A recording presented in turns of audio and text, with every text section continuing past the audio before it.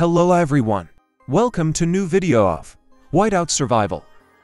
Today I have come with a new guide video for you. A new event has appeared. Childhood Memory Festival. The event is new, but there is not anything new in this event. This event is similar with Thanksgiving Feast. If you remember, some months ago, an event came with Feast, this event is similar with it. Today I will discuss what is in the event, how to play this event. Let's jump in our video. This event has several sections, I will discuss them all one by one. Starting with Party Prelude.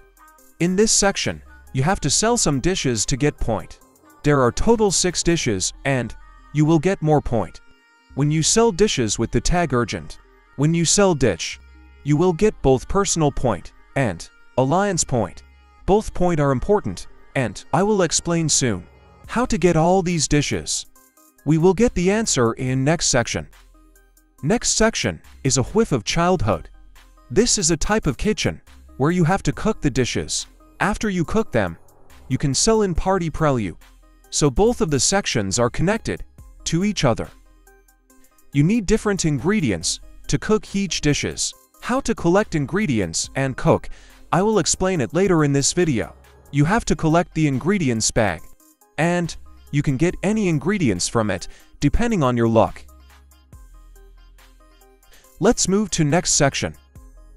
Next section is Dessert Bonanza. This section has three columns.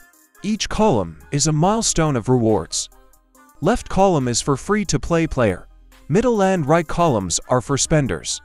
How to get point for these milestone. This section is directly connected with first two sections. In a whiff of childhood, you have to cook. And in party prelude, you have to sell dish. By selling dishes, you will get point in dessert bonanza if you are spender. And if you are targeting emote and other items, you should purchase magical dessert and gourmet delights. Free-to-play players will get very small amount of items from Dessert Bonanza. Let's move to our next section. Next section is Party Expert. This is similar with King of Icefield. In 7 days, you will get 7 stages. In each stage, you will get some tasks. And, if you complete them, you will get reward. This is the best source to get ingredients, which we will use to cook. I will show tasks of each day. And, I will suggest which task you should do if you are free to play. Starting with day 1.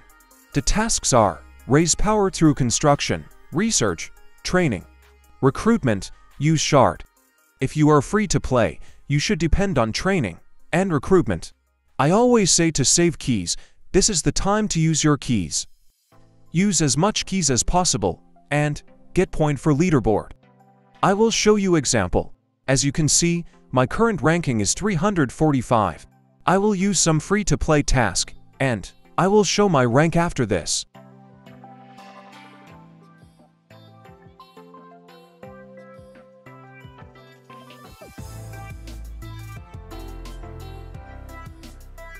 Now see, my rank is 68, so, if you are free to play, keep training troops and do recruitment to enter leaderboard ranking. I will suggest what you should use on other days. Day 2 is Beast Slay. This day is totally for free to play. I have only one suggestion for you. Whenever you are attacking Beast or Polar Terror, use Gina. Gina has expedition skill to reduce stamina cost. So, if you use Gina, you can attack more, using less chief stamina. Keep your auto join rally on, so it can help everyone in your alliance. Now we are checking day 3. Day 3 is hero development. If you are free to play, your only target is recruitment. Don't use your all keys on day 1. Save some keys, and use them on day 3. There is also task of speed up. If you want, you can use training speed up. Why I am telling to use speed up, I will show it later in this video. Day 4 is train troops. There is not much anything to say about it.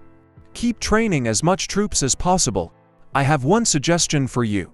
Day 3 has training speed up task. You can start training troops on day 3. And you can use speed up to complete, but you should not claim the troops.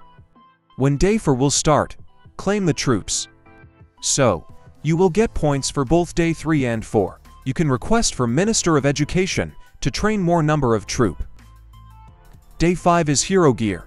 There is no task for free to play, but if you are free to play, you can use Hero Gear Essence Stone, because other tasks are not economical. If you want to use gems, you can use them in VIP shop, but you should avoid widget task as free to play. Day 6 is Gather Resource. I don't have much thing to tell, because your only target is to get as much resource as possible. I have one suggestion for you, you should send troops to gather before day 6 starts. So, when day 6 will start, they will return, and you will get huge point. You are also getting troops training task, which is good for free to play. If you have low level troops, you can promote them, because promotion gives more point than training. Last day is Chief Gear. There is no good task for free to play. If you are free to play, you can use training speed up task. Save your Chief Gear upgrade materials for any big event. This is how you can complete 7 days as free to play. Moving to our next section. Next section is Childhood Nostalgia. This is a puzzle event. Each puzzle component has a photo behind it. You have to complete some tasks to solve the puzzle, so you can unlock the full photo. The tasks are very simple like login, troops training, research. When you complete the puzzle vertically and horizontally, you will get more rewards in the chest. This puzzle has 15 components, you can solve 14 of them as free to play. The last component is impossible for free to play, because you have to top up to complete it. Leave the last component and go for others. Moving to our next section. Top-up benefits.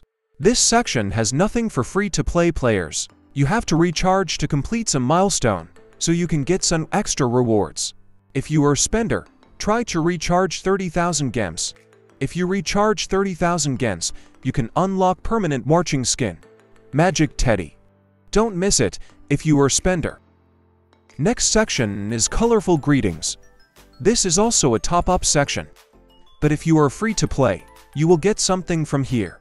The left side column is for free to play. Every day, you will get some rewards from this section. Next section is Childhood Quest. This is another source to get ingredients. The sources are spend gems, use speed-ups, gather resources, defeat beasts. If you are free to play, you should depend on gather resources and defeat beasts. Do you remember, on day 3, I told to use speed up. This is the reason, if you use speed up, you will get ingredients. Now I want to check how much ingredients I can get by using speed up. As you can see, currently I have got 17 ingredients for using speed up. I will use some speed up and I will check the number. Now the number is 24. That means I have got 7 ingredients. I have used 14 hours of speed up, and I got 7 ingredients. So, you will get 1 ingredients for using 2 hours of speed up. Keep in mind, there is no limit on getting ingredients. From Gemsan Speed Ups. Our last section is Childhood Fantasy Party.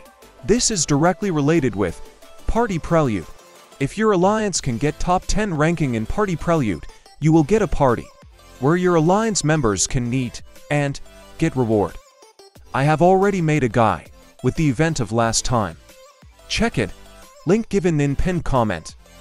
Now we will check how to cook, how to sell dishes, how to get points.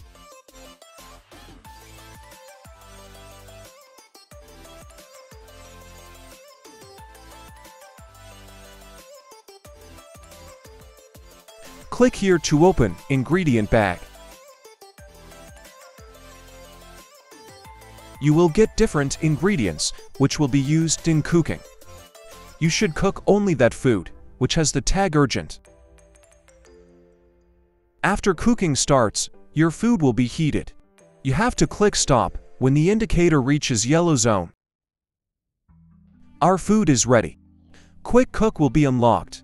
And, next time you can directly get food, without doing this step. Click here to use Quick Cook. This is how you have to cook food, in a whiff of childhood. I am showing one more dish.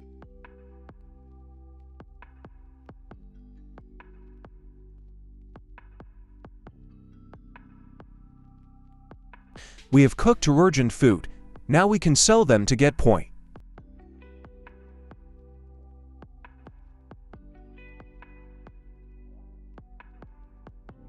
This is how you can get point. In Party Prelude, there is also milestone chest as daily reward. If your alliance can get top 10 rank, your alliance can start party. There are three type of party, Magical Reverie, Moonlight Dream, Fairytale Feast. We know, everyone does not have all ingredients to cook. If you have shortage of any ingredients, you can request it from your alliance. You can neither send help to your alliance, or you can take help using I need. When you sell food, you will get point in Dessert Bonanza.